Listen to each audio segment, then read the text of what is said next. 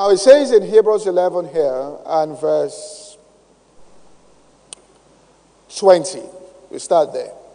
It says, By faith, Isaac blessed Jacob and Esau concerning things to come. And then it says again, By faith, Jacob, when he was dying, blessed both sons of Joseph and worshipped, leaning upon the top of his staff.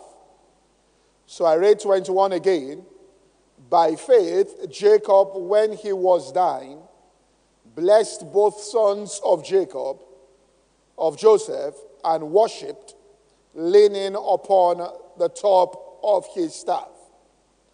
And then it says in verse 22 By faith, Joseph, when he died, made mention of the departing of the children of Israel and gave commandment concerning his bones. Now, so there was something we found or we find here in the lives of the patriarchs that they understood. Uh, they understood the power of prophetic pronouncements at the point of death. Uh, the Bible speaks about Isaac blessing Jacob and Esau concerning things to come. And Isaac decided when the Bible says his eyes had grown so dim that he could no longer see or recognize anyone, Isaac called Esau and said, uh, Now the process of death is setting into my body. I don't know how long I am going to be here. Therefore, you go and prepare the venison that I love, that my soul may bless thee. And then it tells us in 21 by faith, Jacob, when he was dying, in other words, Jacob was dying when he made this pronouncement. When he was dying, uh, the Bible says that he blessed both sons of Joseph and as he was dying, he worshipped, all right, leaned upon his staff and blessed them. So it's like you're laying upon your staff there, you are dying, you are worshiping, and then you make pronouncements concerning the future. And we found that those events came out, all right? I mean, they had nothing to do with it. That's the power of a prophetic utterance. They were not even around to orchestrate the fulfillment of those prophetic statements, all right, or, or, or, or the sound that they are giving out. It was certain that the events will shape exactly or shape out exactly as they said. So they didn't, they didn't participate there. But they understood at the point of dying there that it's now time to say certain things. And then finally in 22, the Bible says, by faith also, Joseph, when he died, so he also went through this process here of while he was dying, he made mention of the departing of the children of Israel these were things that were to come. So it's like he, his eyes were opened up to see it. I must understand a prophet is not first a speaker. A prophet, all right, is characterized by being a seer. In the Old Testament, they were called seers. In other words, what they had wasn't the ability to talk, but the supernatural ability to see. And so what they said was what they saw. Now, now, now, and what made them prophets was that they saw, all right, now anybody could just say anything, but it's because they saw something, all right, that's where the real ability was. It wasn't just in the pronouncement. That's why God said these people are, saying things that they have seen nothing.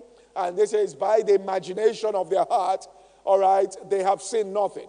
Paul said, I wasn't disobedient to the heavenly vision. In other words, he saw something. He told Moses, Build according to the pattern that was shown ye thee on the mount. So they saw something and they built according to that, or spoke according to that. So at the point where they were dying, they had visibility into the future, and so they made declarations that were consistent with what they saw, and those pronouncements, all right, registered on the earth. So they understood something about the process there of dying. So the Bible says, by faith, Joseph, when he died, made mention of the departing of the children of Israel and even get, gave commandments concerning his bones. In other words, my bones must be carried when you are leaving, you mustn't leave it, all right, in this particular place. Now, you must imagine when Joseph was speaking about this, all right, and this happened, you know, hundreds of years later. But when he was saying this, okay, maybe 200 years later, but when he was saying this, uh, uh, Israel was at their height in Egypt. Uh, he, he was in literally in power. Okay, it was after Joseph went and died, and then another Pharaoh came that knew not Joseph.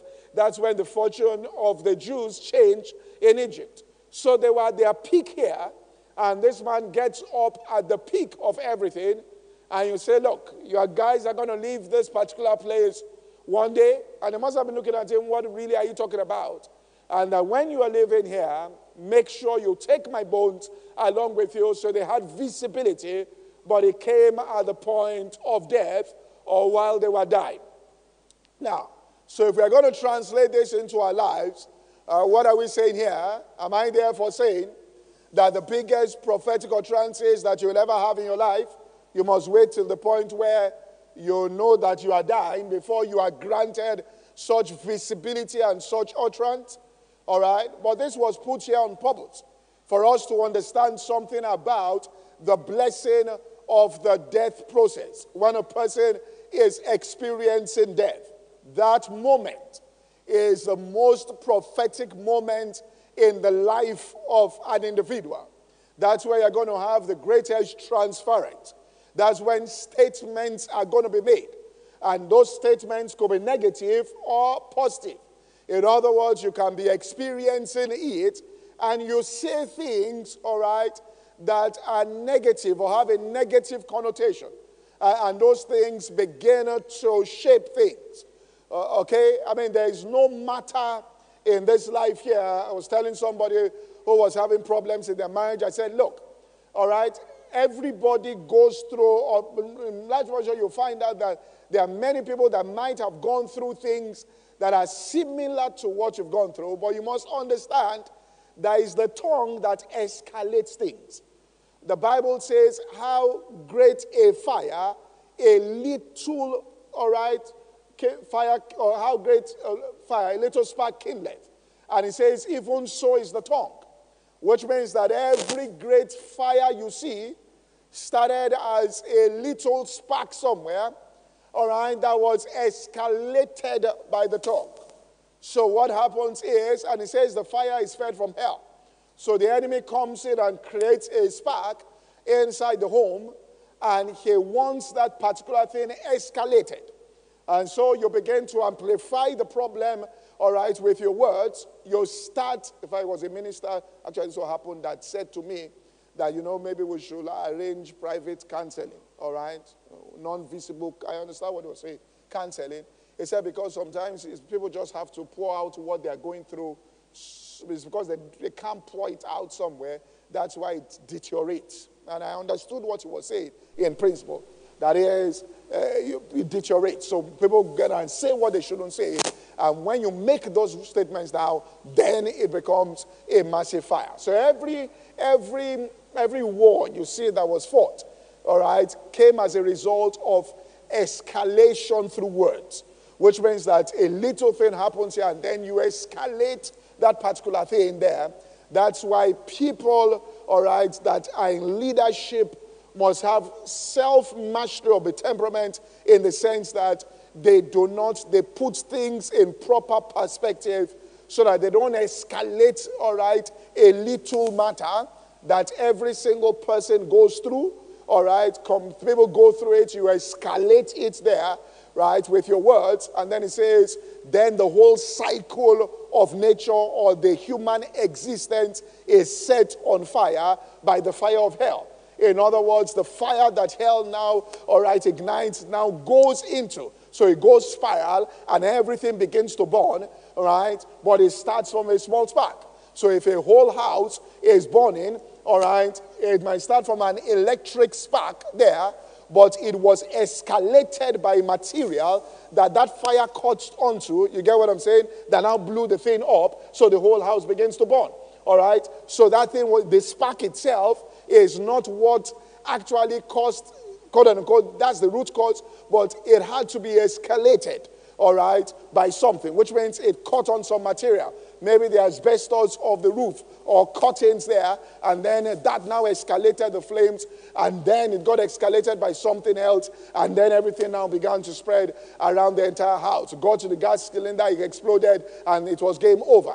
So he says we shouldn't escalate things. That's why he says they slow to speak, all right, they slow to wrath, right? Don't escalate issues with the tongue right, puts the thing out. It says, A soft answer turneth away wrath. In other words, if you use your tongue right, you can de escalate, all right, things there and not allow those things to be amplified. But when you make pronouncements, for example, in a relationship like, I regret I ever set my eyes on you, it was, I mean, someone says things like, you know, I had two other people I could oh, choose, and I made them. And when you say those kind of things, you can't call those kind of things back, right? You wound people in places where it will be very difficult, all right, for Paul to recover there. So things should be de-escalated there.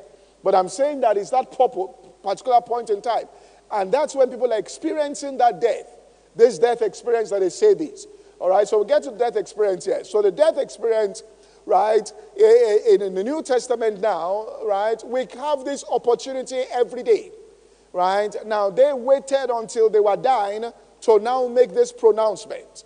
But we have it every single day, every single day, because Paul said, I die daily.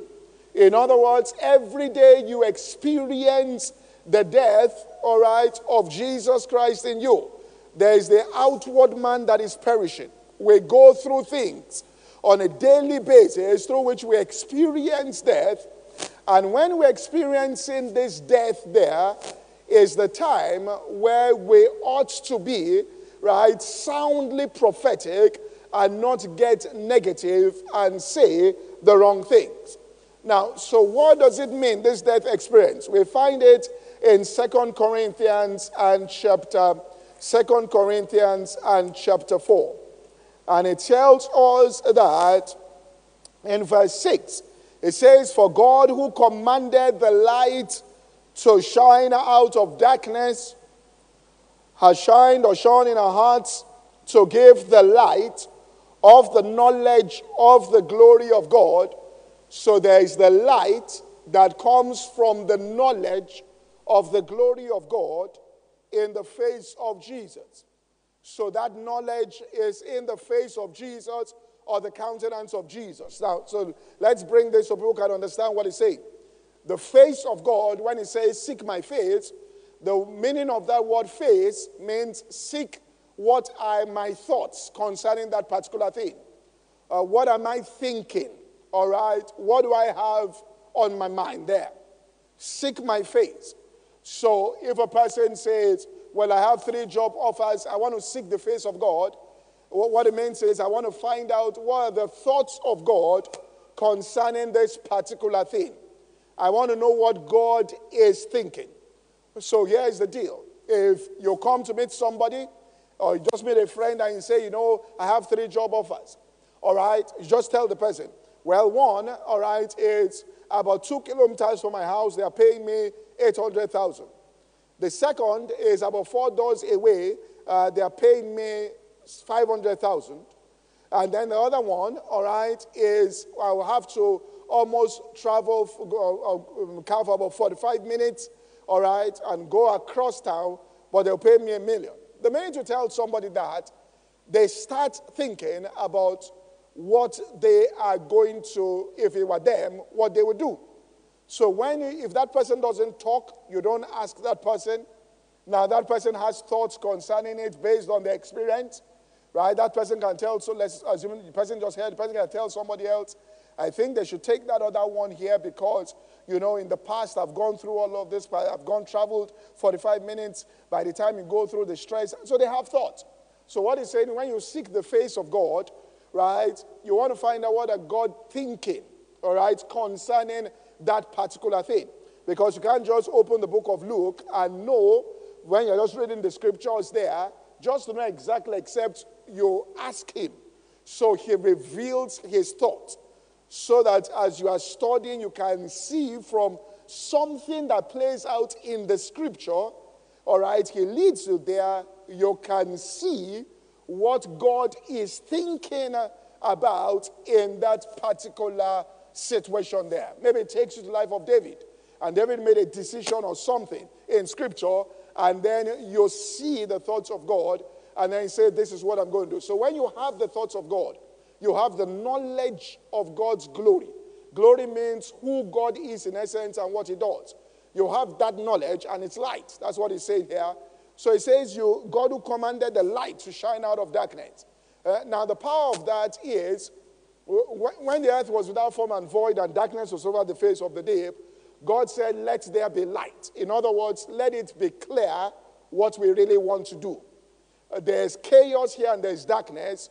Uh, before we do anything, let us have the vision clear. What are we building? So he saw the earth clear. He saw the waters gathered. He had the perfect design. He saw how man was to live on the earth. He saw, all right, that certain functions were to be carried out, right, on the earth. Uh, he saw them and he said, Look, let us create somebody in our own image to be able to manage this earth, all right? And the role of this person or these people will be to do this. Now, what he saw the plan there was clear. He said, We are going to need certain animals to, to, to make what we are seeing come to pass. And so he called out every animal. Now, God could have called out more things, but he called out only what fitted into that light that he saw that this is what we want. So it's like an architect, if he looks at it and he says, you show him some land, and he says, Well, we want to build an auditorium here. He looks at it and says, Let there be light. So he gets the auditorium. He knows exactly what every room, all right, will be used for. This will be a conference room, this will be here, this will be this, this will be that, this will be this. And so the kind of materials they're going to bring in is according to that vision that they have. So everything God was calling forth was according to the vision that he had. So when he says you are in a situation and says, God who commanded the light to shine out of darkness has shone inside your heart, it means he makes it clear to you, very clear, what he is thinking about that situation and what will be the outcome of that particular thing. This is what, all right, I want to bring out so that, right, you can now begin to speak, all right, according to those things that I have shown you. So he went on and said, But we have this treasure, which is this light, in earthen vessels, that the excellency of the power may be of God and not of us. Then he said, We are troubled on every side, yet not distressed. We are perplexed, not in despair, but not in despair. Persecuted, but not forsaken cast down, but not destroyed. Then he said, always bearing about in the body the dying of our Lord Jesus Christ, that the life also of Jesus might be made manifest in our mortal body. So he's talking about the process of dying. For we which live are always delivered. So this experience of death for Jesus' sake that's the life, which means the intention is that the life, that's the only way the life of Jesus will be made manifest or visible in our mortal flesh. So then death worketh in us, but life in you. And then it goes to that same thing. We having the spirit of faith, as it is written, I believe, therefore have I spoken. We believe also, therefore we speak, knowing that he that raised up Jesus, which means the same spirit that raised up Jesus from the dead, shall make manifest in your mortal flesh the life of Jesus. So, the way the Holy Spirit does it is through the spirit of faith, you believe and therefore you speak. But the moment He does it is when you are dying, which means this is a precious moment. It's not a moment, it cannot happen outside the experience of death.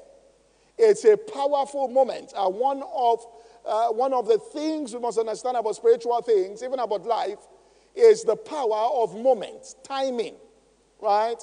Uh, there are certain times that certain things can happen, and outside those times, they cannot happen. All right? So, to everything, there's a time. So, there's timing. When the time, that's why Jesus said, You have missed the time of your visitation. There's timing, all right, in the realm of the Spirit. And so we must understand the power there of moment. So, when is this death moment? That these patriarchs understood that the minute they were dying, they said, It's time now to prophesy life. The minute they were experiencing death, they said, This is the moment. We can't do this outside the moment. If we make statements outside when we are dying, it won't have the carry the weight and the power. So you must understand, all right, this moment you experience. Which means in verse 10, always bearing about in the body the dying of our Lord Jesus. We that live, in verse 11, are always delivered unto death. When are you delivered unto death? It says in verse 8, We are troubled on every side, yet not distressed. We are perplexed, which means when you are perplexed, when something happens and you are perplexed, it says, Cast down, all right, but not destroyed. When you are cast down, something happens and you are cast down. When you are persecuted, that's when you are experiencing that dying there, and that is the moment to rise up in the spirit of faith and exchange, all right, with words of faith, death for life. Now, if you don't do it at that particular point in time, in other words, if you are you walk out of this place and you're all happy you came for a service and you know you are all encouraged and you are saying that, you know, I know I'm going to be successful. I know I'm going to be successful. I know I'm going to be successful. That's fine. All right. And every time we declare, you know, the Bible says, preach the word in season or proclaim the word in season and out of season. Now, you can be proclaiming something in season, which means, all right, there's no contradiction to that word. It seems like it's going to work. But then there's when you are saying it out of season when it doesn't look like, all right, it's going to work.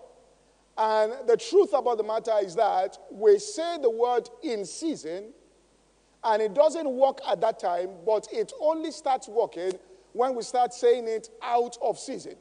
But we say it, we have to say it in season so that we are ready to say it when we are out of season. Do you get what I'm saying here? But it's when you are saying it out of season that it starts working which means the word only begins to become visible when death is working in you, which means when you are cast down is when the word can manifest. If you are not cast down and you're just saying well, fine, but you are building up yourself for that particular moment, right? Which means that when you are discouraged, that's the moment. And many times that's when people say the wrong things which means they are saying the right things until the wrong thing happens. Then they start saying the wrong thing. And they say that, well, I've been saying it, right? But they don't understand that. It, it's like they told Esther, you are in the kingdom for such a time as this. In other words, you are positioned in the kingdom for such a time as this. So if I've been calling into existence those things that be not as though they are, and I'm encouraged in my room, all right, that's what Paul was saying. He said, Stand fast. He said, Haven't done all stand. He says, Then stand in the evil day. All right? The real day you are supposed to stand is the evil day. But if you don't stand, if you have not been standing before the evil day, there is no way you are going to stand on that evil day.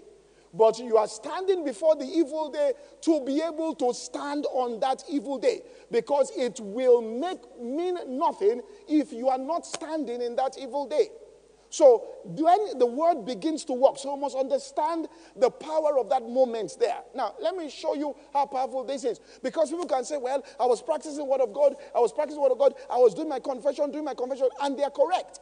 And they made their confession, let's say, let's say they made it 80% of the time they did it, but the 5% that will count for something, they didn't know that that's when, which means, you know, I, I, Eh, I mean, I mean, eh, that 5%, they didn't understand the power of the moment and say, well, but I said it anyway. But that 5%, all right, will means more than in terms of the impact that the word will have than during that time. I mean, I was watching something and, yeah, but that's how life is. It's, it's about moments. And, and if you really don't understand moments, then you miss out on life. That's why Jesus said you miss the time of a visitation. If you don't know, you think, you think, you know, that this state, I mean, you, you must be ready. That's why the Bible speaks about five virgins, or uh, ten virgins, foolish, and that the power of the moment, that that moment came. He says, once I knock on the door, immediately. He says, when the harvest comes, immediately they put in the sickle. So they understand the power of the moment. They don't miss that particular moment. Because you miss that moment, the door can get shut. So, I mean, I was watching this and I saw this on DSTV. I just saw it and I decided to follow up on it. All right, because I saw a lady, she broke the world record and I found it fascinating. All right, was one, one of the elevators I do, and she ran and she didn't know she had broken the world record. And then it was her friend that tapped her and said, You've broken the world record. And then she was, so I just said, Let me just watch the full race. So I went on YouTube, all right, because I have a curious mind there, just to find out the story behind it. And what had happened, and I said, This is life. If you don't get it, then you feel life has, has, you know, has cheated all right, you, all right, you just feel. What had happened to her was that she ran, all right, in one of these, their um, athletics meet, their Grand Prix, when they run in circuit, and she broke the world record in 110 meters hurdles. The world record. She was American. And in the finals, there were five Americans. She came first, broke the world record.